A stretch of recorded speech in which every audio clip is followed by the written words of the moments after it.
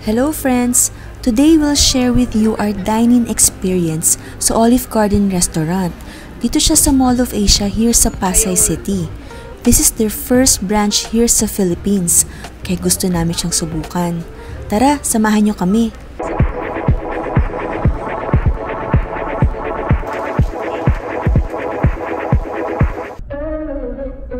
Eto, on the way na kami sa Mall of Asia or MOA.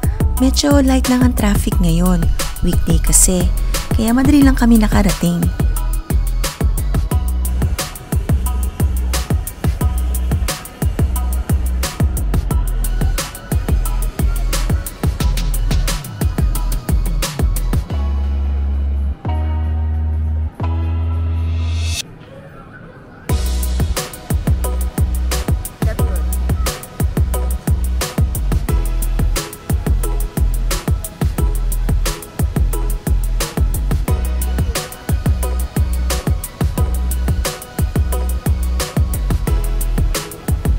Pang-apat kami sa pila.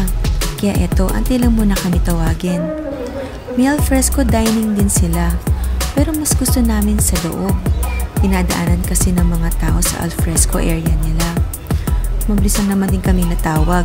Wala pa atang 10 minutes. Ang maganda rin pala dito, may upuan sila sa labas. Kaya comfortable rin yung nag-antay kami.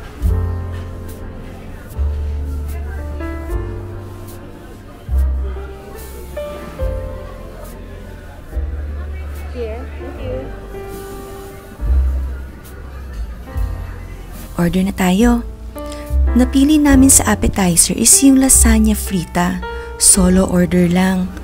Masarap siya. Medyo kalasa niya yung crust ng dynamite sa peri-peri. Yun yung naaalala ko. Mag-order din sana kami ng soup. Pero unlimited or never-ending soup na pala pag nag-order ka ng any classic entree menu nila. Actually, pati pala breadsticks, never-ending din. And either soup or salad pala ang pwedeng mapili. Pinili namin is yung never-ending soup. Pero take note ha, na no sharing yung never-ending soup or salad nila. So kailangan, tig-isa kayo ng classic entree order. Ang nakakatuwa is pwede mo itry lahat ng soup or salad nila. Apat yung klase ng soup nila.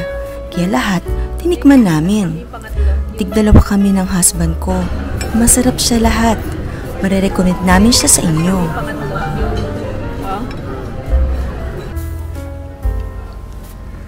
Sa pasta naman, na-curious kami sa Tour of Italy. Tatlong variety siya ng dishes in one plate. May chicken parmigiana, lasagna classico, and yung signature nila na fettuccine alfredo. Honestly, masarap siya. It's how you expect the taste to be. Pag sinabi namin ganun, ibig sabihin is walang overpowering taste of herbs yung lasa, which is good. Medyo marami rin siya. Pwede nga siya for two persons.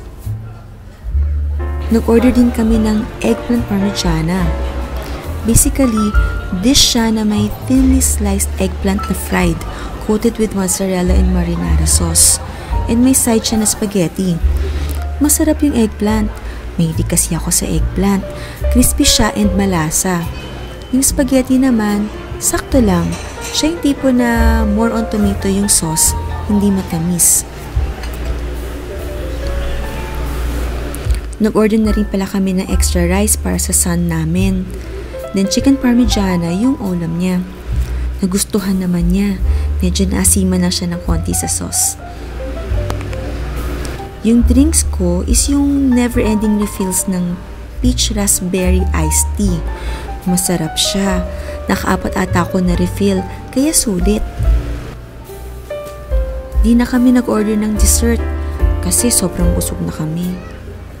Meron din pala silang create your own pasta. Ikaw yung pipili ng type ng pasta, sauce, and topping. Okay din pag may pasta, sauce, or topping preference ka.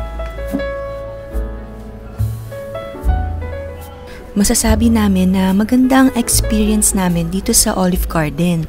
Maganda and mabilis yung service, tsaka organized sila. Medyo pricey lang siya, Budget per person is around 1,000 to 1,500 pesos, considering if you want na matry ang appetizer, entree, and drinks nila. If gusto nyo mag-add ng alcoholic drinks, marami kasi silang selection nun. Or dessert, add pa siguro kayo ng another 1,000 pesos sa budget nyo. Part pala sila ng bistro restaurants, kaya pag meron kayong bistro card, dalhin nyo para maka-discount kayo sa bill.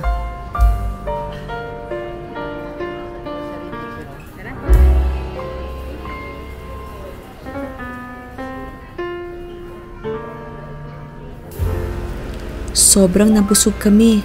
Paano? Sinulit namin yung never-ending soup. Yung pala, wag muna kayo papabusog sa soup or salad and breadsticks ha, hanggang di pa nakarating yung order nyo. Para syempre, ma-enjoy nyo siya. Eto, maglalakad-lakad muna kami, pababa ng kinain. Tara, samahan nyo kami. Matagal ko nang gustong subukan tong spiral wishing well eh. Try nga natin sa maliit na piso. Hehe, ay ang bilis lang bumaba. Next namin pupuntahan is yung carousel sa ground floor. Isasakay namin son namin. Favorite niya kasi yun dito sa MOA. Sa tapat lang siya ng Toy Kingdom. Okay din siya. 60 pesos siya per person, kid or adult. Enjoy talaga dito sa MOA. Ang daming kainan. Habang naglalakad nga kami, may naisip na kami na subukan kainan pagbalik namin. Kayo, may marerecommend ba kayo na kainan namin sa next time na pagbalik namin? Comment down below. Sige, hanggang dito na lang mga friends. See you on our next video.